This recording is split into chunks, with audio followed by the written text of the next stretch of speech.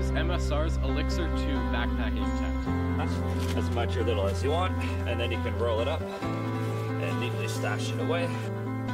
So now we're going to talk about closed cell foam mattresses.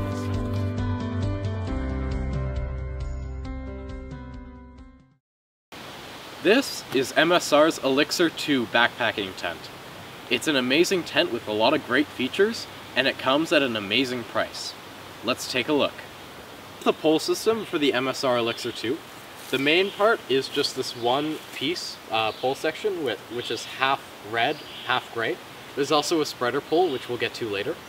And once these main two attachment points are set in place, you can just jiggle the rest and it should snap into place. These are high quality aluminum poles, so they will bend and uh, you don't have to worry about breaking them. And then setup from here is actually pretty interesting. What you do is you take the middle section in between the two attachment points and you pull the two rods apart. And then as you can see, this spreads out the ends, so you can put one in this corner, one in this corner, and then one in this corner, one in this corner.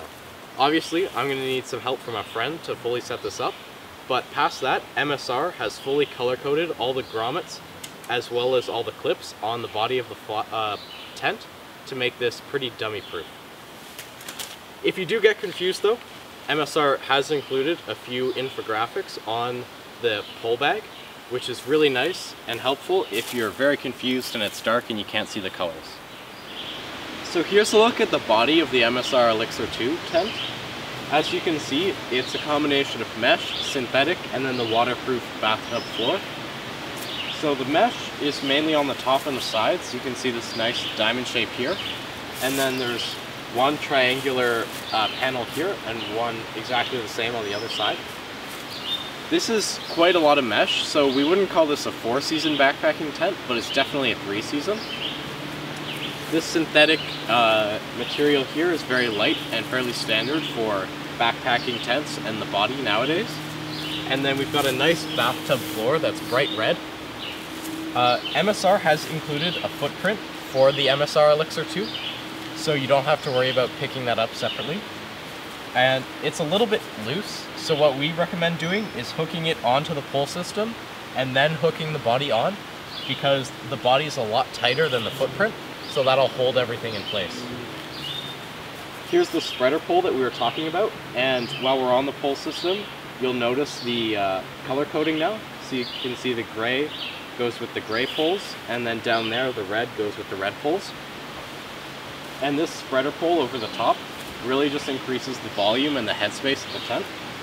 It also brings the door out quite a bit, which is awesome because it makes getting in and out of the tent very easy. There are two doors to this tent, which is really good for two people.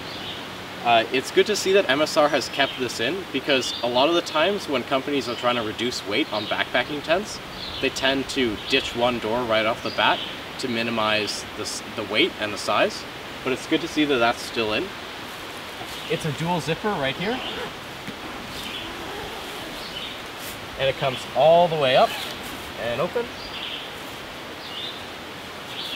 and it rolls back and you got a nice toggle and loop here to secure it in place. So inside the tent now, there's actually quite a bit of space. I'm 5'9", and I can comfortably lie down here. Uh, and if there was someone else of equal or greater size, I don't think it would be an issue. It's good to see that MSR has kept this tent livable and roomy. Uh, generally, when uh, companies are competing for the lightest backpacking tent, they tend to cut some corners and you end up with a really cramped living experience. But uh, it's not the case for this Elixir 2, which is a good thing to see. There are a few other features that we'd like to point out. There's a really big mesh pocket here, which is great for storing maybe next day's clothes or anything else like that. Up top here, I'm not sure if you can catch it, but there's a, a triangular pocket here which is great for headlamps and you can use it to shine light down on whatever you're doing inside the tent. And then finally, the zippers we'd like to point out are actually, uh, they're glow in the dark. So it's pretty easy to find them at night, even when there are no lights. Uh, we should note that this tent is completely symmetrical. So anything we've mentioned on this side is also present on that side. That also goes for the pockets up here, there's also a pocket here that you wouldn't be able to see. Finally, there are some uh, little attachment points at the very top. I'm not sure if you can see those, but there are four in a small square. And that can be used for attaching a gear loft or really just hanging anything there uh, to dry out maybe, or to store some extra gear. So here's a look with the fly on now. It's actually uh, quite unique, the vestibule system we have here. So it's bright red, which is a nice accent. And uh, the first sort of segment rolls up really well. And again, it's another toggle and loop situation to hold it in place there. Um, there's also another toggle and loop on this seam right here, which you can actually use to roll this further and then hold it right along here if you want a little bit more open vestibule. But undoing this now, zipping it up is really easy, and there's actually a double zipper so you could open it from the top too if you wanted. There's a nice storm flap with Velcro. And then past that, we have a little vent here on the side. There's also one on the other side as well. And there are a few guy out points. There's one here being held by a peg. And then the ones up top, there's one here, as well as one right at the top of the vestibule.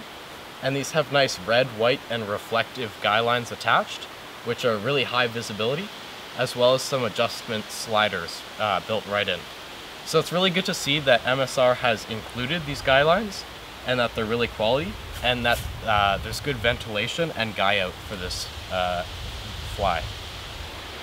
So there are just a few more noteworthy features for the MSR Elixir 2 tent.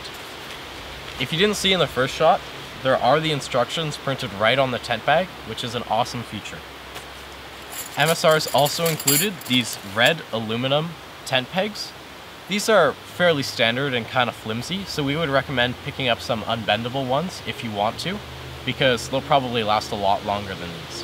However, these will not get uh, mixed up with your friend's pegs, which is a cool touch. So the MSR Elixir 2 weighs in at 6 pounds flat.